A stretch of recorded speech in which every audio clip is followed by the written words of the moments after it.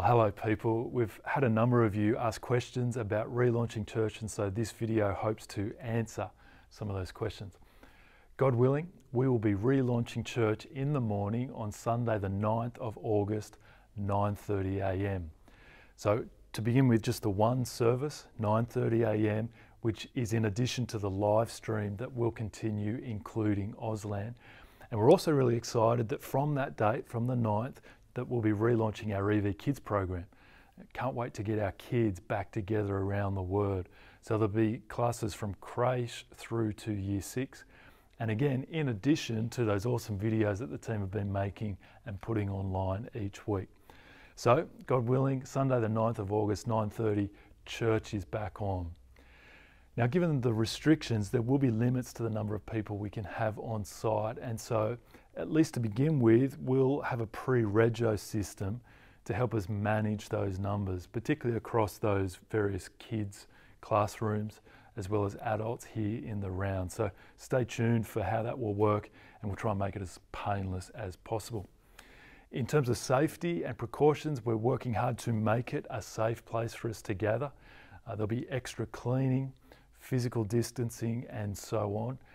And in terms of the COVID clinic that's been operating out of our site and been a great blessing to the coast, as we kick off from the 9th of August, it will not be running on a Sunday. And the parts of the facility that they do use through the week are sectioned off, so there'll be absolutely no crossover between church and the clinic. But what I really want to tell you more about, and again extend an invitation to you for, is the info sessions that we're running on the 25th and 26th of July.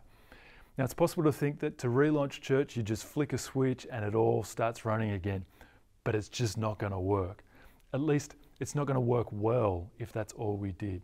And so, the goal of these sessions is to get as many of us as possible together, not to consider just some tasks that need doing, something much bigger than that, to actually consider the scriptures and be stirred afresh as to how wonderful and beautiful and powerful church is in the purposes of God. Just how key it is that God's people are gathered, particularly in our mission to reach the coast, to see people won out of hell into heaven through the gospel. And so th- this is an opportunity for all of us to come together. See, church isn't just run by staff.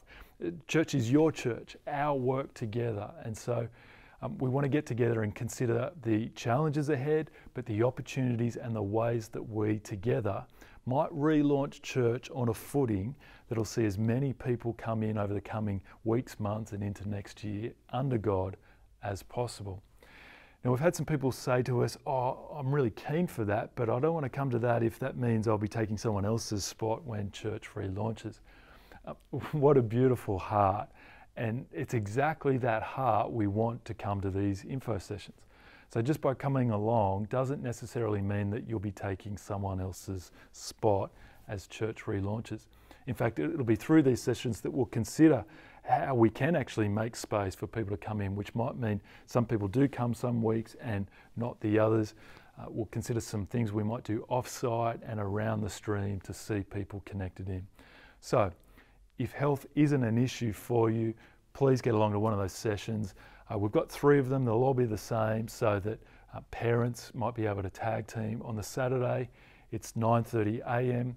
and 3 p.m. And on the Sunday, 1.30 p.m. Sessions will go for about an hour. No need to pre-rego. Get along, trust it'll be encouraging, and we'll also be spending some time in prayer, um, entrusting these things to God. And can I finish by urging you to continue to pray? We've seen this week, haven't we, just how quickly things can change, and yet we have a God who doesn't change and whose purpose is to bring great hope to his world through his people amongst his church has not changed. And so be praying that as we relaunch church, God might do something wonderful, that He might bring great blessing to us, yes, but to the coast and beyond because of it.